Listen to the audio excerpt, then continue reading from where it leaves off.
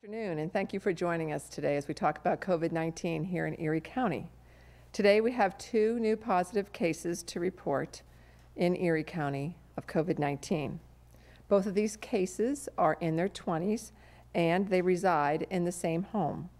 The new cases are located in Zone 5, which will be posted on the cumulative cases map by zone at eriecountypa.gov in a few minutes. Contact tracing continues with Erie County Department of Health staff. Our contact tracers at the Health Department have been diligently working around the clock to identify contacts of all the positive cases since the first one hit back in March here in Erie County. We have a very robust tracing system locally, and the staff has a very good handle on our list of people who have been diagnosed positive with COVID 19 and they are 100% confident with their numbers at the Department of Health here in Erie County. Having said that, our total number is now 122 cumulative positives with 2,734 negatives and 97 recovered cases thus far. An update on our surrounding counties shows Crawford County having 21 cases, McKean reporting 8 cases and 1 death, Venango County has seven cases, and Warren County still has only one case. Chautauqua County has 43 cases and four deaths, and Ashtabula now has 193 cases and 19 deaths. And the state is reporting 57,991 cases and 3,806 deaths. Please continue to wear your mask when you go outside and are near anyone else who does not live with you in your home and wear it properly. We've seen many masks being worn improperly, so make sure it covers your entire nose and your mouth together. Please keep yourself at least six foot distance from anyone you come in contact with. Wash your hands with soap and water and so sanitize the surfaces that you and others touch. Now, I would like to acknowledge a few of our star players, model businesses, who are doing the right thing. So our staff was out and saw Dick's Sporting Goods. Their fitting rooms are still closed at Dick's, and all employees are wearing masks. They're taking returns in their lobby. The customers uh, who make those returns don't need to come into the store then. And then they let those returned items sit on a shelf for three days before they put them back out for other customers to purchase. There's a greeter at the front door who's enforcing the mask mandate, and they're allowing customers to try on shoes but the associate gets the shoes for the customer, and if they don't purchase those shoes, then those shoes are placed on a rack and they are left there again for about three to five days after having been sanitized before they return them to the shelves. There is social distancing signage throughout the store, and a manager is walking around the store, cleaning high touch areas constantly, and also observing the customers and reminding them to keep socially distanced as needed. They log their cleaning on a chart to ensure the high touch areas are staying sanitary. So it sounds like they're just doing a great job, being a great business partner. The Cold Stone Creamery is doing uh, mostly online orders, which are prepaid, limiting the guest count to six guests in the store at any one time. They're sanitizing the freezer door handles and counters after each person is in the store and they're not doing any sampling, sorry to say, but obviously a very good practice at this particular time. And finally, the manager took the Serve Safe COVID 19 precautions course. So thank you for doing your part um, to help keep everyone in our community safe. And thank you to the businesses who are really out there helping us to fight the spread of COVID 19 in the community. We continue to hear many, many good things, not only from our inspectors who are out, but from citizens who have reached out to tell me about the stores that they go to and how pleased they are with the different precautions that have been put in place. And now I'd like to welcome a special guest with me today, someone we haven't seen before uh, here on this uh, briefing, and that's Dr. Tony Snow. He is our Erie County Department of Health Medical Director, and I'm just so grateful that he's been willing to come on with us today. So, Dr. Snow, please go ahead. Thank you very much, County Executive Dahlkemper, and thank you for asking me to come. I am delighted to be here. And firstly, I just want to extend my thank you to the entire Erie County community because our statistics are truly amazing. When you think of approximately a 1.6 mortality rate, when the state, the nation, and the world really is closer to 5 or 6%, that's extraordinary. And the reason that is so extraordinary is because of the wonderful work of our county executive, working with Mayor Schember, the health systems, and our wonderful public health officials. And without a doubt, the community at large who have embraced the recommendations of the body of individuals. It is so important that we all take a stake in the health of our community, which affects us all. I want to give a special shout out thanks to the Erie County Department of Health. I've been the medical director for over 30 years, and in that time have come to know very well the staff at the Erie County Department of Health. And I can tell you all, they are superior. They are unequaled in their commitment, their competence, and their dedication to the public health issues of the folks of Erie County. Case in point, their efforts with SARS-CoV-2, which is the virus that causes the COVID-19 epidemic. And we see them working tirelessly to respond to tracking individuals, to spreading information to individuals, for teaching and seeing that individuals who are affected by this virus receive effective treatment in a timely fashion. So again, I want to thank Ms. Melissa Lyon and her wonderful staff for what they are doing to help us be in the position we are in our county dealing with such a pandemic. I also want to commend the Department of Health for their excellence in that, as we heard before, we only have six county departments of health in Pennsylvania and four municipal departments of health. Of the six, we are one of those who have achieved the accreditation of the Public Health Accreditation Board, the Erie County Department of Health, one of only five of the 10 in Pennsylvania. And that is a very important achievement to maintain a standard of excellence, to have the consult of experts availability, to get teaching aids and equipment and protocols in place that cause excellence in practice. So I wanted to make a big shout out and a thank you to the Erie County Department of Health for that. Secondly, today, I want to talk about testing.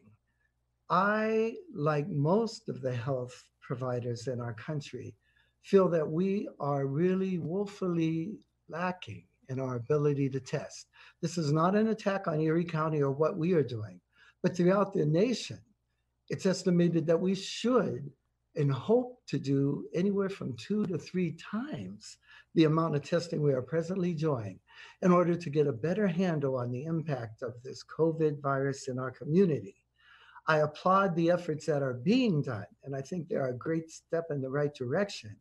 But I think it is very important that we look to methods that will increase the free availability of testing to a larger segment of our population with particular sensitivity to the medically underserved populations, the populations of color, the individuals who suffer physical disabilities, and the individuals suffering mental health disabilities.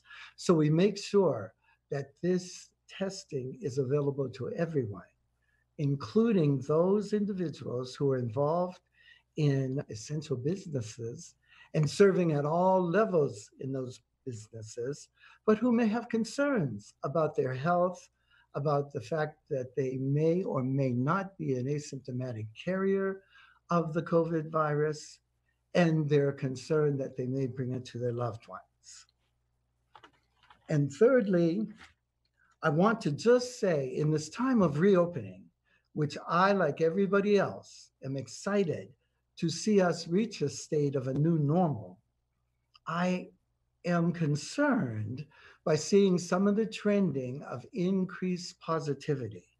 Now, that may be a consequence of increased testing, true enough, but we have to go far further in that domain.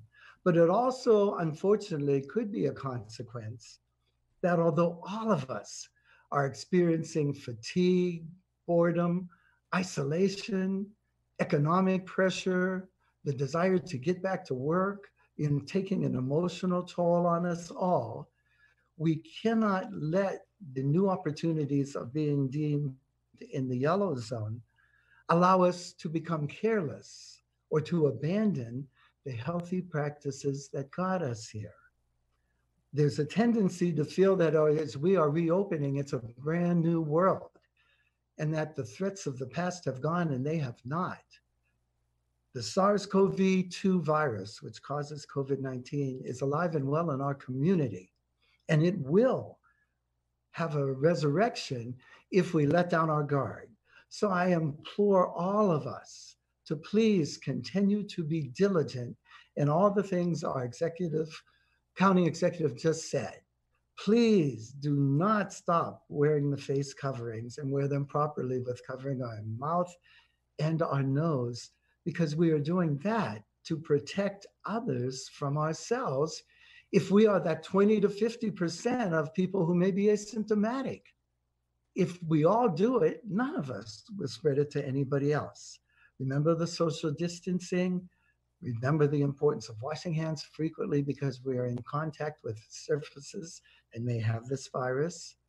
Don't forget the importance of sanitizing the areas of common use be they home, car, or work, and the importance of staying home if we don't feel well.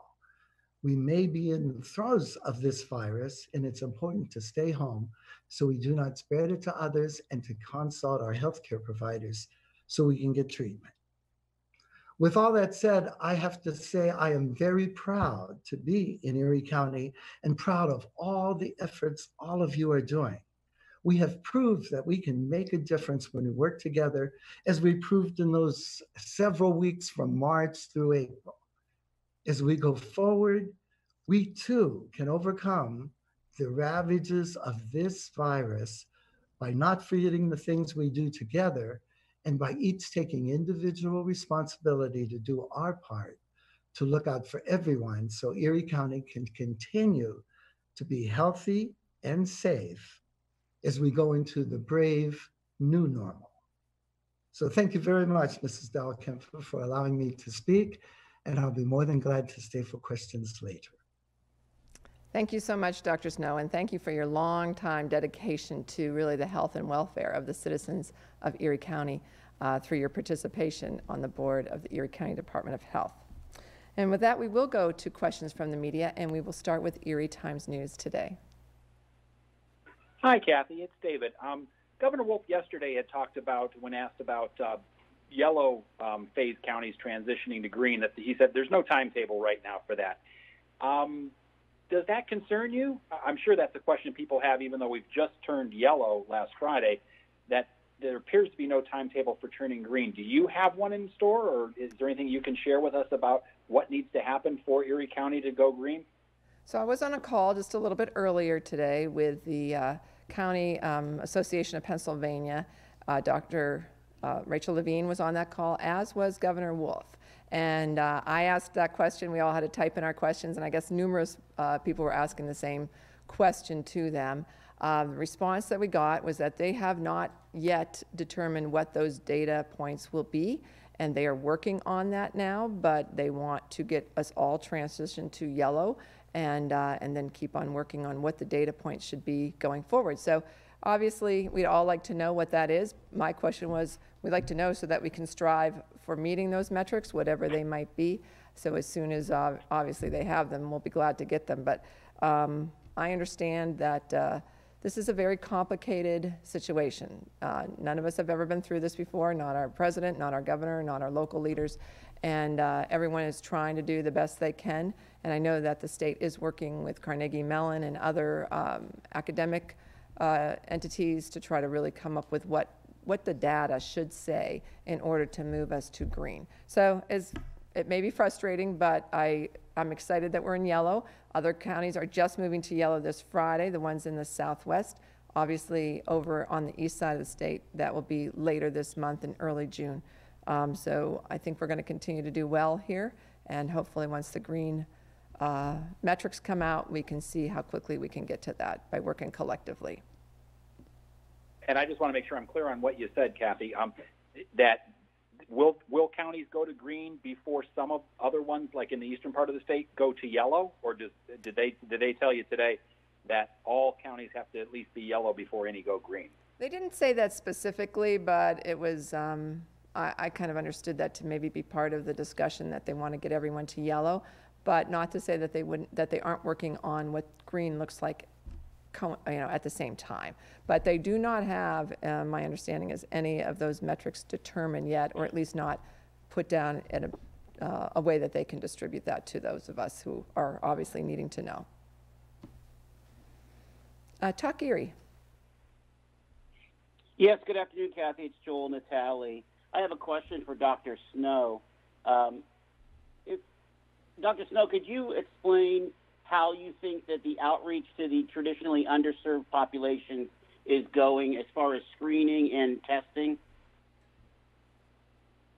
Sure. Thank you very much for the question because that's very near to and dear to my heart because we have to be through our entire population to make a meaningful difference. Right now, I think there are many barriers that make it very challenging for people. There's economic barriers, there's barriers of distance, there's barriers of culture. We often see barriers of language. And these all tend to cause particular impact in the medically underserved population. This, that's not to say that we don't work diligently to make a difference. I know there are efforts underway that you'll hear a lot more about later, where we're trying to figure a system to make inroads into those populations, to take all those barriers I just talked about and try to break them down so that people will feel comfortable, people will feel empowered to get tested in an economically beneficial way and have the knowledge to know what to do with those tests and how to protect themselves and others. So I know that's not a specific answer to your question, but it is, um, I can tell you with good faith that it's on all of our plates that we have to have a cross section of our population very inclusive of folks who have been medically underserved before we can really feel we're making an impact and having our hands around this virus. And part of that is increasing the amount of testing we are seeing at those at-risk populations because we as we all know there's several segments of our population across the nation that have shown to be medically underserved and disproportionately impacted by the COVID virus and what it can do. And that's what we're trying to work on locally. So there's more to come, but it's definitely not out of sight, out of mind, or unimportant because I feel personally that it's imperative that we do that. Thank you for the question. Can I ask a quick follow up? Uh, I wanted to ask about the testing. We have 122 positives, 2,734 negatives. That's about a 4.27% uh, infection rate. What? How does that work? Can you explain to a layperson, you know, with somebody with all kinds of um, symptoms, how is it that still 95% of them don't have COVID? Oh, that, that's a great question because we have to remember that COVID, which is the SARS CoV 2 virus, is in fact a virus. And many, many, many of the symptoms of viruses overlap. We're still in the heart of all the other viruses, including influenza, respiratory viruses, adenoviruses, and a plethora of viruses that are out at this time of year, very similar symptom complexes. And that's what makes it so tricky. You can't just say, oh, you have a cough, so you have COVID, or oh, you have a fever because you have COVID. It, it's very mixed up. So to be an effective or a screening system that we can believe in, we want to have far more screening than we have positives. That's a sign of goodness with a testing system. And I'll give you the, the example of that in a non-viral way. If an, if an ICU that took care of heart disease had 100% of the people they saw all turned out to have heart attacks, then that system would be missing people because there's got to be a lot of other people with symptoms that got by and never got tested. You should have far more people going to the ER with chest pain than you have turning turning out to have a heart attack to be an effective screening. Well, it's the same with this. So that's why you get a lot of screening and not a lot of positivity on one point. And also, the other thing is it gets tricky leading back to screening. The populations, the hotspots, the people at risk have to be included in those screenings in order to make a more valid statistic of the penetration of the virus in the population. Thank you. Thank you, sir. Thank you, Joel. You're welcome. Thank you for the question. Erie News Now. Hi, good afternoon. A question for Dr. Snow, if I may. Um, I've got uh, viewers emailing me, calling me left and right about this uh, business that had uh, six infected employees. And so, from a medical perspective, why should or shouldn't they be concerned about having been, having been in that business um, with those in- infected employees? And, and thank you for the question. I do understand it. But in medical, maybe this will help. We approach patients with what we call universal precautions. The approach we take care of patients is based on the fact that we never know who we're seeing and talking to in the office who might have tuberculosis. We never know who may have an infection or a contagious disease but we give equal opportunity and care to everybody. To do that, we approach everybody with universal precautions. It's no different with the COVID virus. There's nowhere, I wish there was, but there's nowhere we can be where we can tell ourselves COVID's not here. I'm sitting in my home and I can't say COVID is not in this home. We also know that COVID, in many of us, has no symptom. So even when you screen me for my fever, that's no guarantee that I do not have COVID. We know also that in the course of an infection with every virus, including COVID, that we have a period of time where we are we have the virus, we have not yet even shown symptoms. We have a period of time where we are symptomatic, and, and then we have a period of recovery. And in that time, at some points we're infective, some points we're not. So I say this all to say, I understand the anxiety of hearing that Tony Snow's house had, uh, he and his wife have COVID. Then everybody want to say, oh, we can't go around there and we got to put a barrier around. Do not go close to his house because you'll get vi- virus. But that wouldn't be valid because the virus I have is everywhere.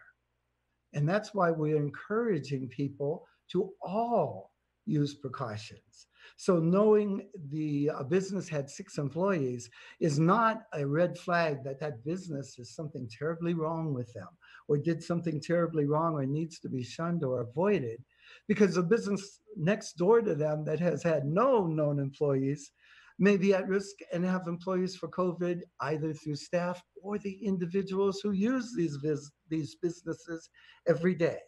So the safest thing to do is to take the knowledge not of that one business, but the knowledge that COVID, the SARS CoV 2 virus that causes COVID 19, is alive and well in our county. So all of us should approach the county that it is everywhere we can be. And that's the safest thing we can do. And the more of us that do that would protect more and more of us from outbreaks of that infection. So I hope that answered your question. It's not about that business, but it's about the virus that's in our community everywhere. That does. Thank you, Doctor. May I follow up on that very You're very briefly? welcome. Thank you for the Um, question. Is there uh, any any fear that um, you know by, by not alerting people who were in the business with those infected employees is is there any reason to, to fear that, that that could increase the number of asymptomatic carriers that those people could have been infected and are now out there with the disease and we wouldn't know it? I'm sorry, was that directed at me? Yes, please, Yeah, sir, if I may. Yes. Yes. No, because we, as um, our county executives have mentioned to us, we do detailed tracking on every positive infection, everyone, everywhere. Extremely detailed by a highly competent staff at the Erie County Department of Health. And if I was working at wherever I was working and an individual was found to be positive, part of that tracking would in fact identify me. I would be informed, I would be taken into the system, and I'd be followed up, cared for to the max because that's part of our system. Not related to one place, but related to the system of virus mitigation. Thank you. Thank you. But doctor, what about customers? Pardon me, th- through that entire, now there's several layers of exposure and all of that is taken into account. Keep in mind, customers come in, customers may have face masks, customers may be in for short times, long time, they may not have, in a large place, I could be there quite frequently and have no contact with an individual because there's other people there. So it's it's very complicated, but believe me, the depths of that are taken into consideration with the uh, tracking and the testing. Thank you so much. Thank you. Jet TV? Yes, hi Kathy, Samir, if I may. Uh, so I'm hearing many school districts have approached the county health department for guidance uh, regarding in-person commencement, uh, and that they're not really getting much insight to that, and it's kind of gr- or part of the growing frustration with that. So do you have uh, a statement on that? We have had numerous conversations with numerous school districts um, over many, many weeks here. Um, I've had conversations with all of the superintendents together through uh, Zoom meetings, uh, not only with myself, but my staff on the environmental side. And so we have engaged with our superintendents actually for a long time to try to be of assistance to them in a multitude of ways, including the graduation of their seniors. First of all, you know, um, myself having graduated at one point and knowing how important that time of your life is, um, I feel very, very deeply for these students and what this virus has done to the end of their senior year. Um, and it is, it's terrible, and I feel very, very badly for them. Um, we have, again, we've spoken with the superintendents, tried to answer every question they've had, uh, given them the guidance that we have gotten coming down from the CDC and from the state. Uh, it's important to remember that a school district is its own political entity. Pennsylvania is very much um, parochial in our governments. Um, so the school district is its own freestanding political entity. County government is its own political freestanding entity. And so uh, the school district will decide what's best for them. But we have given them the guidance that we have gotten again from both the federal and the state level, as well as the knowledge and um, understanding of this virus from our own county health department. And, uh, but it's up to the school districts to make their own decisions as to what they do going forward for their students in commemorating uh, this great milestone in their life. Unfortunately, it's not going to be the way that mine was and anyone else listening who didn't graduate in 2020. And it's, it's a very, um, very difficult thing for these students to, I think, accept. And, I- and I can understand that. You know, I'm also a mother of five, and I can imagine my own children having to accept this and how hard that would be. So I, my heart goes out to them. Um, but again, it's up to each school district to decide what level of risk or what level of, um, you know, graduation and how they're going to perform that is. But to say that we aren't engaged is not true. We've been extremely engaged with all of the school superintendents for a long time. Erie Times News. Yes, Kathy, I want to go back over the, the number of recovered COVID patients you have. Um, you had mentioned it was 97, and we've had 122 total cases. Um, it seems like we've had a lot of very quick recoveries because you had we had 19 cases reported last Thursday and Friday, six over the weekend, and two today. That's 27 just just there, you know, just since last Thursday. Are we seeing patients making very quick recoveries, and and what what is the definition of a recovered patient according to the county? So, you know, um, st- uh, Dr. Snow may be able to address some, some of this from a medical standpoint of recovered, um, but you need to be 72 hours past your last symptom, and then you are in the recovered phase. Um, so, if you remember, we had sort of a low count for a while before we had that fairly large spike. And so that may be why we're seeing more recovered. And, and I think the recovery, from what I understand, again, I'm not a medical doctor, but my understanding is that some people do recover fairly quickly. Um, it may depend on when they actually got tested too, um, or when we got the results of their tests. Because I've been talking all along that some people's tests are coming back within 24 hours, but other people's tests sometimes take two or three. In the beginning, it was sometimes even five days. Um, we're, we're doing better with that. So if someone had symptoms and then by the time they go get tested and that test goes in and maybe it is a few days, in the meantime, you know, once you take the test, you are told right away that you need to stay isolated. Um, so even before you know for sure if you're positive or negative, you're told that. So that person may have been isolated and then they get the positive result. So they already may be halfway through their recuperation from the um, disease. And the other thing I'm going to uh, say I might suspect, but again, I would love to, Dr. Snow to weigh in on this. We have trended much more onto the young side for our positive cases than we've seen historic or uh, typically happening across the Commonwealth and across the country. Um, many people in their 20s and 30s, teens even, and and um, you know, so they're usually a little more healthy and vibrant, and and maybe they were just recovering faster because of that younger age. But maybe Dr. Snow would like to weigh in on this. I'd love to hear his thoughts. Sure. Sure, I think you're right And on the I could- money, um, Mrs. Dahlkemper, when you say that. And I agree with you. We know that the COVID going its rounds is a two to three week phenomena usually, provided the complications don't set in. So depending where in that spectrum I was tested, I will be equally positive. But one time I'm positive and I'm getting ready to get into the thick of the illness. At another point, I'm positive and I'm recovering from the illness. So that all goes to the time that I will have in fact achieved 72 hours of asymptomatic afebrile state and been part of the recovery. You're quite exactly right that that's that's part of that phenomena that makes that happen.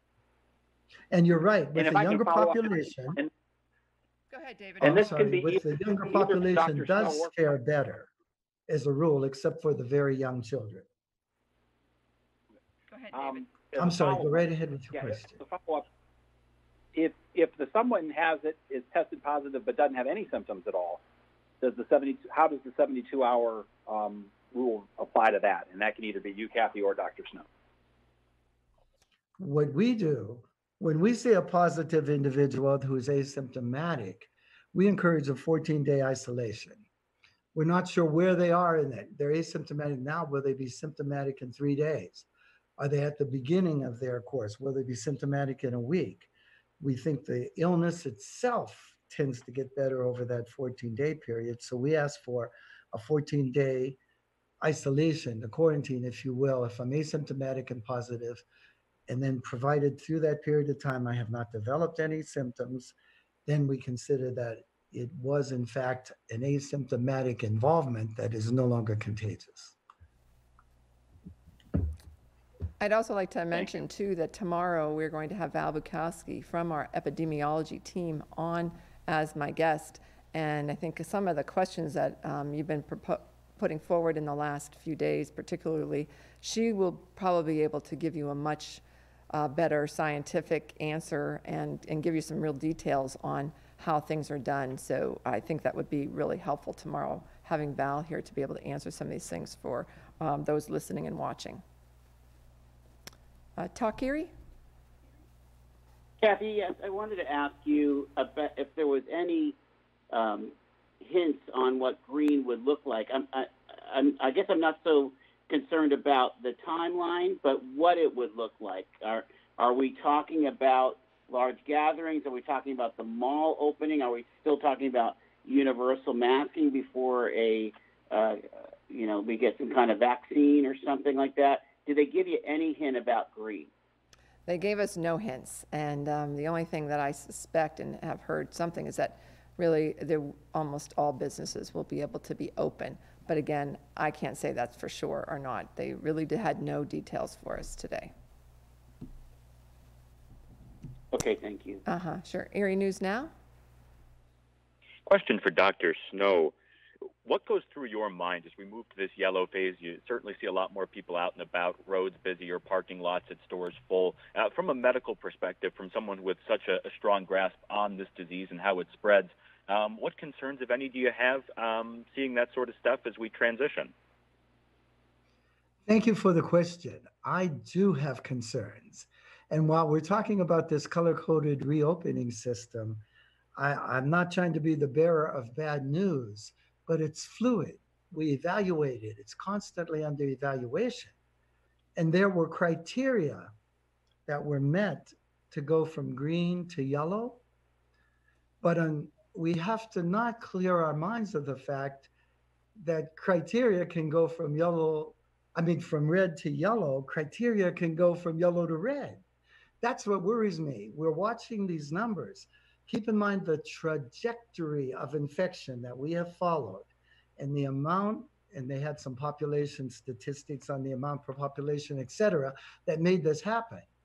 But if there's a resurgence because of a lot of factors, including perhaps more testing will identify more, perhaps a certain lack of our same diligence, not wearing our masks, getting together. We all are hungry for social uh, experiences, for dealing with our loved ones and our friends. But as we do that, we're opening up the possibilities for a resurgence of the virus.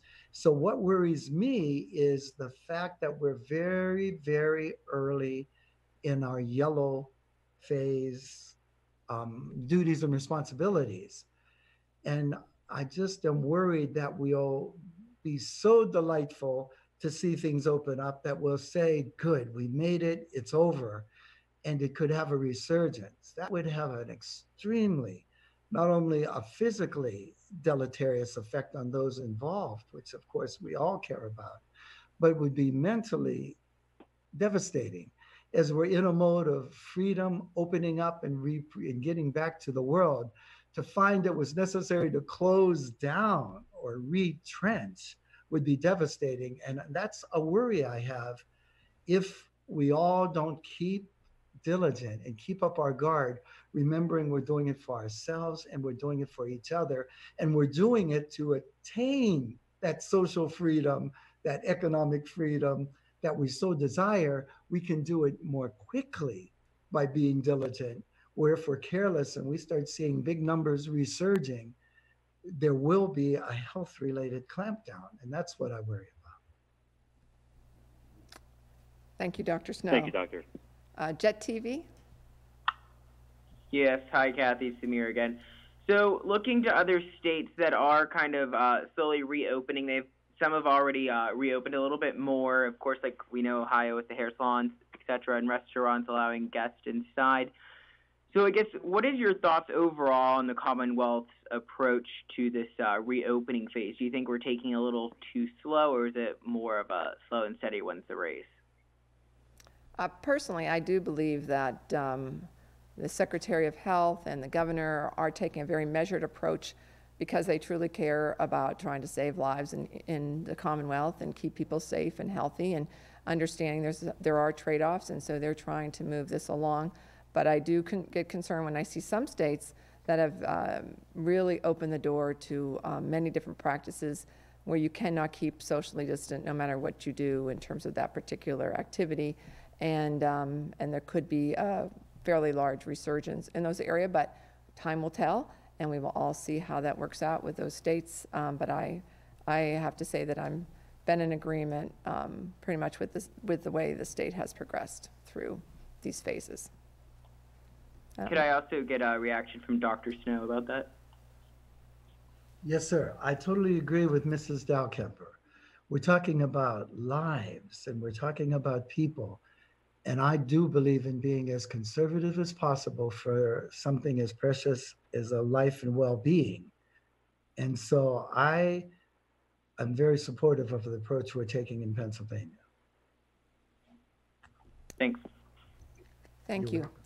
Well, I'm going to end the questions there today. Um, it's uh, almost 45 minutes, and actually, I'm supposed to be getting on a call shortly with the federal government to talk about testing and increasing testing across the country. So I want to make sure that I get on that call and hear what we need to hear from Erie County from a federal perspective, so I appreciate that.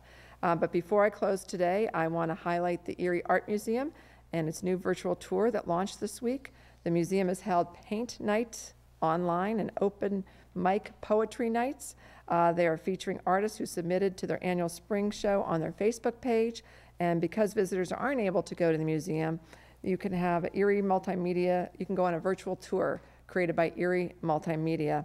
And this can be found at erieartmuseum.org backslash virtual tour. So follow them on Facebook, book, visit them online for more information. And another one of our great assets here in Erie County, trying to help all of us get through this pandemic and give us the arts while we do, while we do. So in the meantime, please try to stay home as much as you can. Please remember to stay safe and please stay calm. Thank you, Dr. Tony Snow, for joining me today. You've been a great guest, full of great information, and I appreciate you be- being with us. Thank you all.